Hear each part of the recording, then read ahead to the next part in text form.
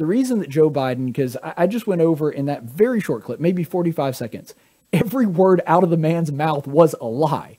Every single one. And the reason that it was all a lie is because he knows if he tells you the truth, he can't make his case. Hey, fellow tacticians. Be sure to like this video and subscribe and ring that little notification bell.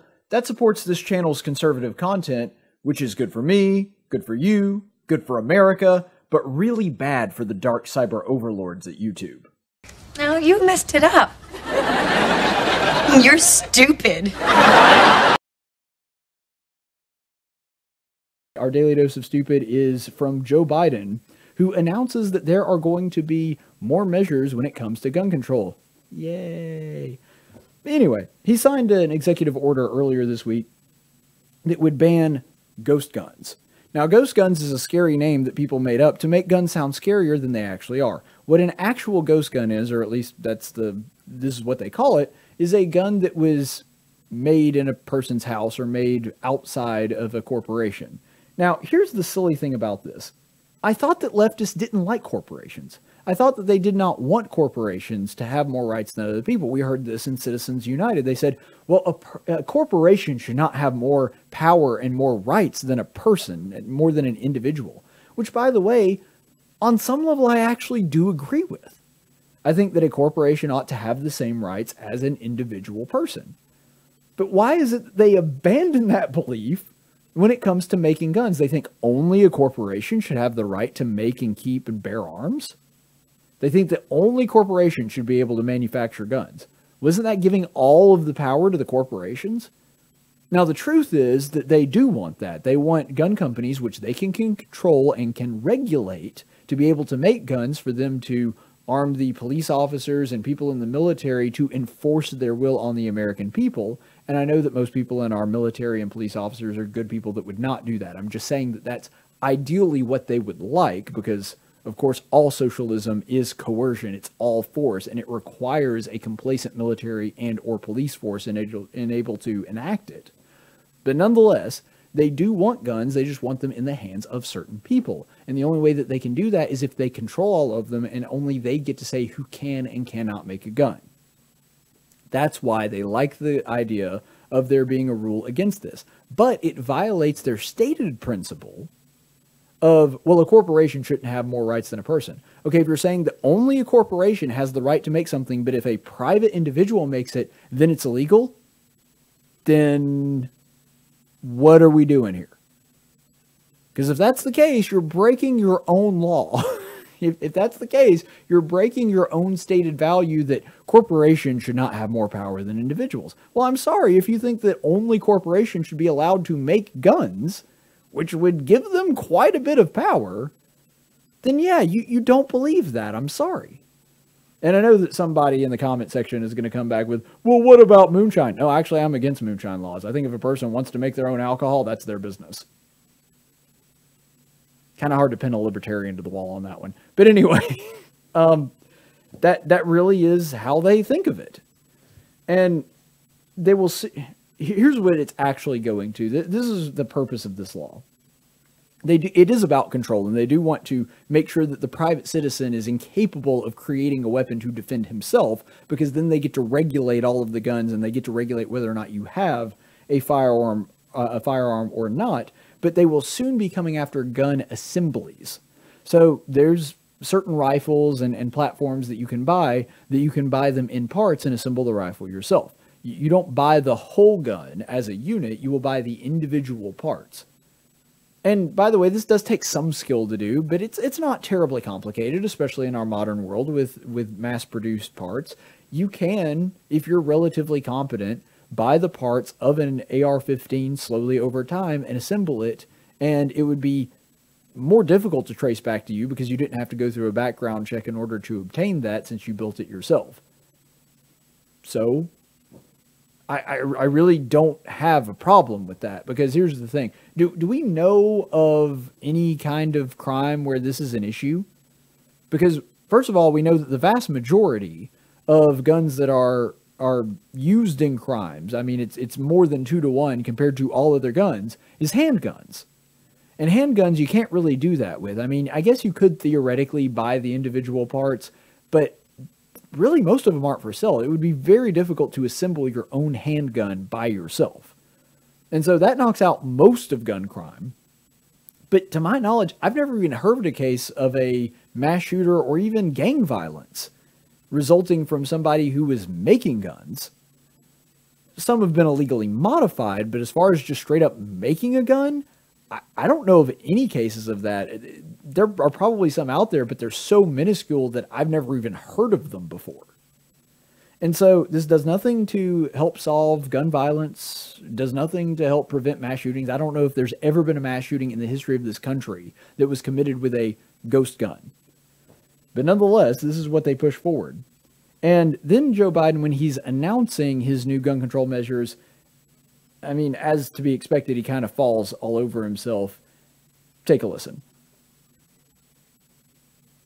Nothing, nothing I'm about to recommend in any way impinges on the Second Amendment. Oh, I bet it's going to. Phony arguments suggesting that these are Second Amendment rights at stake from what we're talking about. Are they? But no amendment, no amendment to the Constitution is absolute. You can't yell crowd. You can't yell fire in a crowded movie theater. We call it freedom of speech. From the very beginning, you couldn't own any weapon you wanted to own. From the very beginning, the Second Amendment existed. Certain people weren't allowed to have weapons. Also not so true. the idea is just bizarre to suggest that some of the things we're recommending are contrary to the Constitution. Uh, it, it takes, I've said this a thousand times, it takes talent to be wrong that much in such a short amount of time. Like, it, it's actually impressive that you can be that wrong that many different times in only about a 45 second clip. So, first of all, let's deal with the big and most obvious one when he says that all amendments, you know, the amendments are not absolute. Yeah, they are. That's what unalienable means. If a right is an unalienable right, which is what our Declaration of Independence says about human rights and God given rights, then that means they cannot be taken away. That's about as absolute as it gets. That means that nobody has the right to infringe upon them. That means that you yourself can't even infringe upon your own rights. I mean, you can't get rid of them per se. You could choose not to exercise them, I suppose. But you can't, like, you can't um, give up, for example, your right to free speech. It's inherent, it is inborn. You can't do anything to change it. You can choose not to exercise it, but you cannot eliminate it from your being. And the Second Amendment is no exception to this. The rights and the amendments are absolute. That's what it means to be inalienable. That's what it means to believe in God given rights. Now, the Democrats, of course, do not believe in this, but that's the point. It's showing the distinction between the two. They believe that your rights are really just kind of uh, guidelines. Maybe we should hang on to them, but yeah, let's make some exceptions because it's not like, you know, they're absolute or in concrete or anything. No, no, they are. That's the point of it being a right. A right is something that nobody had to give you. You were given to it by God, and no man has the right to take it from you. That's about as absolute a concept as it gets. You could no more stop having a right to free speech than you could stop being a human being. That's not something that you are capable of doing. And it's not something that the government the government should recognize those rights and protect them. But even if they infringe upon them, they cannot remove them from you. And that is really at the end of the day, that is what is un- the most important thing that he says here. But Joe Biden does not believe you have rights. He does not believe your rights are inherent. He does not believe they come from God. The left believes that rights come from government, and because government gave you those rights, they have the right to take them away at any time they want. And that's exactly what they plan on doing. If he didn't believe that, he wouldn't be doing this. And I love that. That brings me to my my second sort of observation here. I love how he goes on this thing. He's like, it's uh, it's not a pudding. It's not a Second Amendment violation. Uh, the uh, the idea that this is a Second Amendment violation is is ridiculous and it's phony. It's a phony argument. Also, no right is absolute. Come on, man. I'm like, wait, but you just said that. What? You say this isn't a violation of the Second Amendment, and then you go on to make the case that, but if we do violate the Second Amendment, it's okay because it's not an absolute, right? Why the need to say that this is not going to impede the Second Amendment, that this is not a violation of the Second Amendment, and then say, but it's not like the amendment is absolute? That that, that makes no sense. It, it would be like me saying, okay, what I'm about to say isn't a violation of Scripture, um, but you know, it's not like Scripture is set in stone or anything. Well, I, I would have no need to make the second case if the first case were true. And I would have no need to make the second case if the first case were true. I'm not saying that they're contradictory. I'm saying that if he really believed that this was not a violation of the Second Amendment, he wouldn't have had to say, by the way, this is not a violation of the Second Amendment. Oh, and also, even if I do violate the Second Amendment, it's cool because it's not like, you know, they're absolutes or anything. There's no need to say both of those things. The truth is, it is a violation of the Second Amendment, and he knows that, which is the reason that he hedges his language. And ultimately, I love that he uses this old tired argument that's one of the dumbest arguments you can make. Well, the First Amendment is an absolute because you're not allowed to yell fire in a crowded theater. Uh, not true. You are allowed to yell fire in a crowded theater when there's a fire. You see, when there's a fire, yelling fire in a crowded theater is not only allowed, it's a good thing to do when you yell cr- fire in a crowded theater and there's no fire, what you are being prosecuted on is not the fact that you said the word fire or that you exercised your free speech. It's saying that free speech cannot be used as a shield to allow you to incite a riot. In the same way that you're not allowed to incite a riot using other terms, like, you know, Funny Man did in, in Birmingham saying we need to tear some bleep down. You're not allowed to use free speech as a shield against committing another crime. If, for example, I hire a hitman and all I told him is, I'll pay you X amount of dollars if you kill this person for me, and then they go out and murder that person, I can't say, oh, well, free speech. I didn't actually go out and kill the person. They're not prosecuting your speech, moron. They're prosecuting the action that you use to hurt another person. The speech is not what is under fire here. And so that's not a loophole or an exception to the First Amendment. It's just saying you can't use the First Amendment to justify committing other crimes. like you can't use that as a shield. In the same way that you couldn't just run up to a random person, shoot them in the face, and go like, "I have a right to keep and bear arms." You have a right to keep and bear them. That doesn't give you the right to murder people. You can't you can't commit crimes and then use the amendments as shields. That's not what's going on here. He's saying that your right to have the thing in the first place should be curtailed. That's completely different than what Joe Biden is suggesting here when it comes to gun control. And it's I, I, hate that stupid fire in a crowded theater argument because it's so easily broken, and yet people continue to use it over and over again as though it's a good argument. Uh, but also another thing that he said, he said, well, you know, back at the, the time of the founding, it's not like people um, could could just have any weapon they wanted. Um, yeah, pretty much they could. Uh, let's observe this first of all. The, we often hear this talking point from the left. They say that, well, the First Amendment was only supposed to be used for things like muskets because that was the standard weapon of the day. Yeah, the Revolutionary War was fought with muskets, which means that all the people that owned muskets had military equipment. And so, if we are going to make that analogous to today, if we were going to enact the same rules and the same standard that we had back then, then everybody should be allowed to have an M16 rifle. Now, those are illegal in the United States of America unless you are literally a, a, millionaire and can afford the thousands upon thousands of dollars it takes to get an automatic weapons license to be able to own an M16. But my point in all of that is if the standard is going to be we need to bring it back to the way it was when this thing was written and ratified in the 1790s um if that's the standard we're going with then everybody needs to have military grade equipment but but let's take you know our mind off of the musket here for a second they act as though there were not more powerful weapons in existence and that those weapons would have been banned by the founders. The only problem is that is simply not the case. I want you to take a look at these weapons. These are all from the 1790s. These uh, were all weapons that were had been made and manufactured and invented pre-existing the 1790s, and yes, private citizens in the United States owned them. I don't know for a fact if any American owned a puckle gun. I, I can't imagine there weren't at least one or two people that had one, but the rest of them certainly were. So the first one you have up there um, on the left is the Belton flint, flintlock. It could fire 12 shots. It was a flintlock uh, style musket, yes, but it could fire multiple shots without having to reload.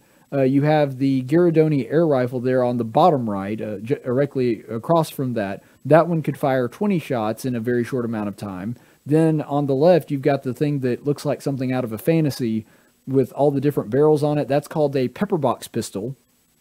And uh, that was also something available to the founders. And, and there were people that owned them even in the Revolutionary War and, and in the Army, and, and people that were not in the Army. Uh, and then, of course, you've got the puckle gun up there on the top right. And that you know, that was sort of the precursor to the machine gun. Now, it took a lot longer to fire a second shot than a machine gun, but the point is, you could fire off about nine shots in a minute. That was significantly faster than a musket. And yet, despite all of this, do you know how many of those were outlawed at the time of the Constitution? None of them. Not one. In fact, Lewis and Clark carried the Girardoni air rifle. This was something that Thomas Jefferson was kind of an enthusiast about, and not only allowed them to have them, he was enthusiastic about them having them. He's like, yeah, take one of them. This is something that people they they lie to you because they know that their argument cannot stand on its own. And I also ask you to consider this and, and, this idea that, oh, well, not just anybody could own a weapon and you weren't allowed to own any weapon that you wanted. I want you to consider this as well. This is a letter of marque from James Madison, you know, the guy that wrote the Bill of Rights. This is a letter of marque from James Madison when there was a private company not a government contractor or anything like that, a private company that kept getting their stuff stolen from England because this happened in 1812.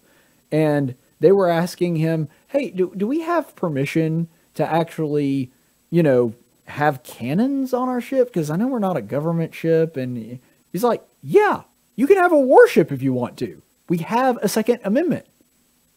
That letter of marque was specifically given to them saying, yeah, you, you can have that. That's fine.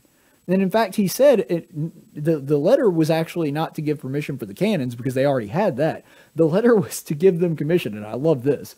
Basically, to say that they are allowed to fire upon enemy ships if they come in contact with them, and they are allowed to either sink them or to bring those people into custody. So he said, not only are you allowed to have military grade cannons on your ship, but I'm also saying that you have my permission, even as private citizens, to basically uh, take war criminals and uh, engage in a citizen's arrest of enemy combatants in the water.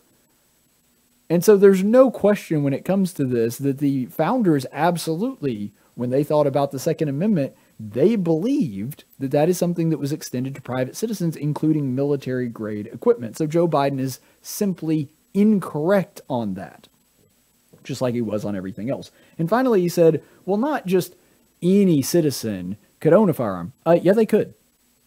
They could. There, there was nobody that was specifically barred from owning a firearm at the time of the founding. The founders didn't believe in that. Now, there were people that were, for example, incarcerated for crimes of violence that weren't allowed to have them, but that's also true today. His law would not change that. If somebody has shown that they have been irresponsible with the right to keep and bear arms, then those arms can be taken away from those. Those rights can be curtailed based on their actions. What Joe Biden is suggesting is new laws that would uh, would be sweeping and apply to every citizen, whether they've done anything wrong or not.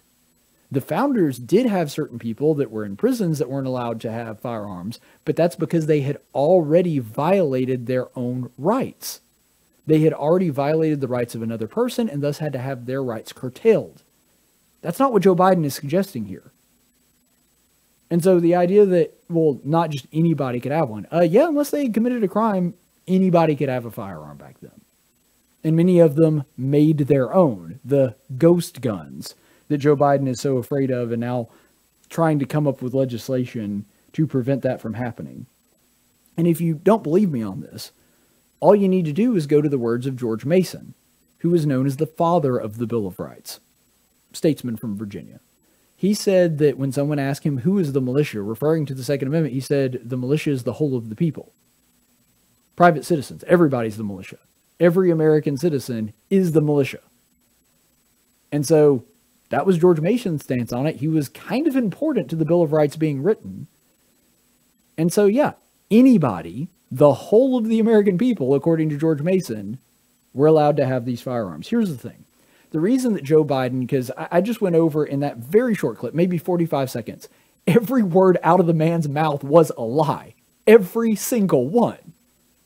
And the reason that it was all a lie is because he knows if he tells you the truth, he can't make his case. He knows if he is honest with the American people and he gives proper context and actually explains this thing in a rational way, he knows he will not be able to make the case to get the legislation that he wants. That is why he has to lie, because leftist talking points don't make sense unless you lie about them. And that's especially true with the Second Amendment. All I do is give you the facts. Why? Because I'm confident in my case. I'm confident that you are smart enough that when you see the facts presented before you, that you can make your own decisions and your own conclusions. And because I know my argument is good and strong, I don't have to worry about it. I can tell you the truth, let the chips fall what they may, where they may, and have confidence they will fall in my favor. Joe Biden knows that if he makes this case honestly, his case won't make any sense, so he has to lie about it.